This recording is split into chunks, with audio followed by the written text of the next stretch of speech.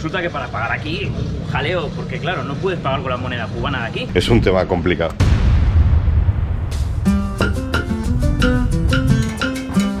Oye,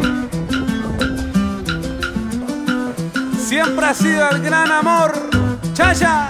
Fuego, fuego, sitios en el mundo en el que su estado de conservación a día de hoy se puede considerar un auténtico milagro y Trinidad es un claro ejemplo de ello. Es uno de los sitios más bonitos de Cuba, probablemente la ciudad mejor conservada, con un valor histórico enorme y por eso está considerada patrimonio de la humanidad. Se puede ver a día de hoy en sus calles la evolución de la historia de Cuba gracias a que se han juntado varios aspectos que le han salvado de la destrucción. Trinidad ha sido la mejor zona de Cuba para el cultivo de caña de azúcar, lo que generó un auténtico boom económico en la ciudad que hizo que los terratenientes fueran realmente poderosos. Y tener en cuenta que Cuba fue el mayor exportador del mundo de melaza, que es de donde sale el azúcar. Trinidad además está muy cerca de la costa, pero no está en ella, por lo que no era fácil verla desde el mar. Y además está a los pies de las montañas del Parque Natural Tope de Collantes, lo que servía de defensa natural. Y por si fuera poco, está alejada de centros de poder como La Habana o Santiago, por lo que tenemos una zona con un enorme poder económico que encima no es fácil de atacar ni de encontrar si no la conocías. Por eso los piratas y bucaneros que pasaban por aquí y que sabían de su existencia preferían comerciar con estos grandes señores del azúcar. De esta manera Trinidad no ha sufrido apenas saqueos y ha llegado hasta nuestros días muchos de los edificios originales construidos por estos poderosos terratenientes. Todo esto hace que una visita por Trinidad sea muy interesante porque se conservan casi todos los edificios y se puede ver la evolución del desarrollo urbanístico. La ciudad surge desde la Plaza Mayor, que es el centro neurálgico, y desde ahí se va extendiendo a través de anillos concéntricos. Junto a la Plaza Mayor están los edificios históricamente más poderosos y a medida que te vas alejando van siendo cada vez más nuevos y más humildes. Una manera de ver todo esto es a través de los adoquines del suelo. En la parte central son auténticos, traídos como lastre en los barcos de los esclavos que venían desde África, que además eran los mismos que los colocaban en el suelo.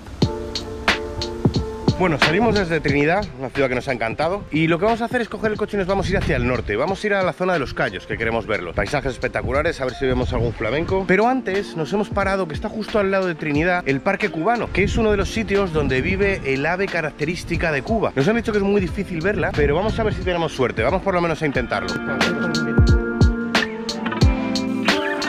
El tocororo del ave nacional en los años 90 tuvo un periodo de caza indiscriminada, no solo del ave nacional, sino de otros animales endémicos de Cuba.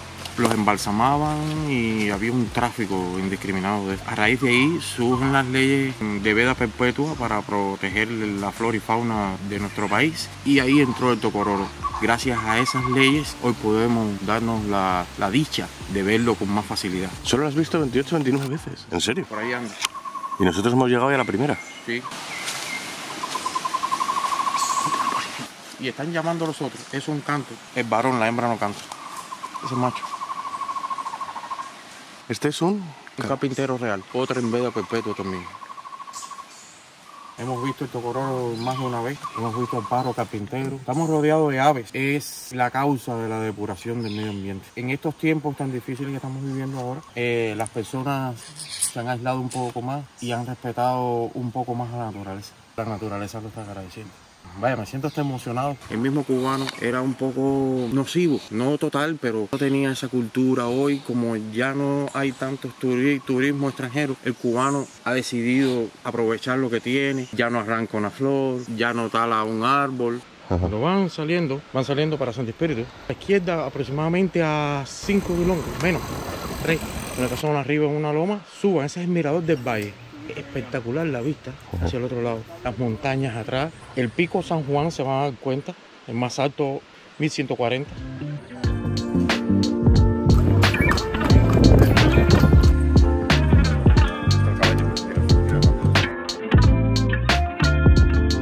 Hacer tantos kilómetros en coche, una cosa que tenemos que hacer sí o sí es repostar. Vamos a hacer un repostaje que acabamos de parar en una gasolinera y así veis cómo es. Hay que colocarse siempre, tenemos que colocarnos en estas que pone gasolina especial. Gasolina especial es la que es de buena calidad. Luego está la gasolina normal y gasolina diésel. Este coche que hemos alquilado, como es un coche nuevo, solo tenía 4.000 kilómetros cuando nos lo han dado, entonces requiere gasolina especial. Nos han dicho que si nos viéramos apuradísimos, podríamos meterle algo de gasolina normal y aguantar unos kilómetros hasta que encontrásemos otra gasolinera. Por eso estamos siendo precavidos y cada vez que llegamos a la mitad del depósito pasamos por una ciudad grande, rellenamos otra vez. Entonces lo primero hay que ir a pagar para que nos abran el depósito y poderlo llenar. Yo quiero llenar las 6.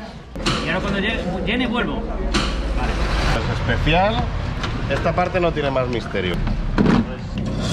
vuelta nos la devolverán y sí que... Bueno, pues resulta que para pagar aquí, jaleo, porque claro, no puedes pagar con la moneda cubana de aquí. O sea, tienes que conseguir o bien una tarjeta de estas, ¿vale? Una tarjetita que se compra en el de al lado, te pagan en la moneda cubana, pero te la tienen que dar, si no, no puedes pagar. Y sí que es verdad que en gasolineras como esta, no en todas, te permiten pagar con tarjeta de crédito. No puede ser americana, pero sí que las nuestras europeas valdrían. Bueno, en realidad, esto de la, de la tarjeta que nos han hecho ahí, en realidad solo hemos, lo hemos tenido que hacer en esta. En otras gasolineras no hemos tenido ningún problema, ¿no? Simplemente hemos ido, hemos pagado allí, hemos dicho que nos abrieran y lo hemos llenado como lo harías en España, pero con esta moneda. Y se supone que ahora nos cobrarán lo correspondiente y nos quedamos con la tarjeta. Ya 22 litros este. Vale, y esto, esto me lo quedo y pago otra gasolina. Vale, pero, pero tengo que dar esto solo, solo esto. Vale, perfecto. Muchas gracias. Vale. Bueno, pues resulta que, claro, como no hemos echado todo lo que tiene la tarjeta, que tiene 1250, hemos gastado unos 600. Entonces el chico me la ha devuelto y me ha dicho la puedo usar otro, en otro momento, que nos quedan unos 22 litros. Y nada, pues la, la llevamos y la guardamos. Mira la, la tarjeta. Pues aquí te pone lo que se supone que desde 1250 CUP, que es la moneda de aquí, que al cambio, pues al cambio es complicado porque depende del cambio que hayas hecho. No sabríamos decirte. Es un tema del que ya hablaremos del tema de la moneda porque es un tema complicado. Ahora vamos a seguir y en otro momento os lo contamos. Estábamos intentando calcular cuánto nos ha costado. No lo tenemos claro, pero sí que tenemos una cosa muy clara. Claro, la historia es que tú puedes pagar tanto en peso cubano como con tarjeta, pero con tarjeta nos hubiera salido al cambio oficial, que es cuatro veces menos que pagándolo con la tarjeta, la moneda que tenemos nosotros ahora mismo en el bolsillo. Con lo cual no compensa usar la tarjeta. Hay que intentar pagar siempre con la moneda de aquí. Ya que estamos con cosas de la carretera, como ir por aquí es una auténtica locura, que no paras de encontrarte cosas curiosas, vamos a parar en uno de los puestos que hay, que lo ponen los agricultores, que lo que hacen es poner todos sus cultivos, lo ponen en un puestecito al lado de la carretera y paras y vas comprando. Ahora es época de cebollas, esto no nos apetece mucho comernos una cebolla a bocados, pero sí que suelen tener plátano. Entonces vamos a intentar buscar uno y cogemos unos plátanos. ¿Cuánto lleváis con este puesto? 10 o 12 10, años. 12 años. ¿Y os da bien para...? Bueno, bien. Sí, bueno, lógico, para ir viviendo. Esto Ah. es níspero. Y aquellas frutas que está allí es zapote, mamey. Este es mango, moro, papaya, mango bicochuelo, mango reina de México. Vale, pues vamos a cogernos unos platanitos. No, venga, nos llevamos este. Eh, Una mano de guineo vale 50 pesos. Vamos a coger una manita, mira qué bien, qué buena pinta. Ahí tenéis, fíjate. Gracias, señor. Muchas gracias a ti. Muy bonito, macho. Lo tenéis espectacular. Oye, un placer. Que vaya muy bien la temporada. Igualmente, igual. Venga, hasta luego. Espectacular. Los plátanos aquí están espectaculares. Es como las Islas Canarias, están impresionantes. Bueno, si encontramos otra cosa que no sean cebollas y ajo, pues pararemos a comprar. Hemos hecho una parada en Ciego de Ávila, que vamos a comer aquí porque nos pilla de paso. Pero también aquí hemos visto una cosa que es muy curiosa. No es fácil comer por la calle. Por eso nosotros nos tuvimos que ayudar de una agencia. Apenas hay restaurantes locales, es como que nos han ido comentando que cada vez hay menos. Y entonces lo que quedan son algunos enfocados a los turistas, que son un poco más caros, pero bueno, es lo que hay. Estamos intentando buscar otros, pero no lo conseguimos. Aquí en esta ciudad más es que se ve perfectamente lo bonita que puede ser una ciudad de Cuba, porque tiene edificios que son muy antiguos y que si están coloridos, si están pintados, están con negocios funcionando, la verdad es que Cuba puede ser un país precioso. La calle comercial de Ciego de Ávila la verdad es que es muy bonita. Pero bueno, vamos a ir a un restaurante que nos ha recomendado la agencia y os enseñamos los platos típicos que estamos comiendo por aquí. Dame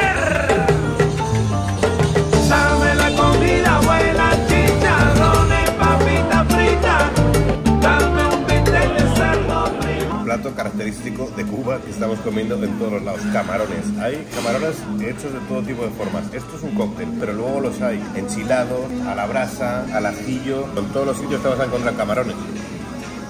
Como platos principales normalmente lo que suele haber es o bistec de pollo, bistec de cerdo, en algunos sitios de, de ternera y suelen venir siempre algo parecido a esto, que es un filete plancha con un poquito de arroz y algún tipo de acompañante. Suelen haber, también haber este tipo de cosas, que son las viandas, plátano frito, suele estar muy bueno. Gracias. Mirad, estos son los precios, estos en, en. Si el cambio lo has hecho a 1,100, que es como se cambia en la calle, son 21 euros entre los tres. Han creado una carretera donde no existía nada.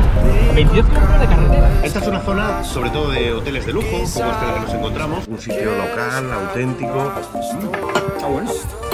Pero es malo. Mira, mira, mira, se parece una competición de rally. Espera, vamos vamos a coger las cámaras porque aquí necesitamos un zoom grande. Tienes de 68 a 72 dientes.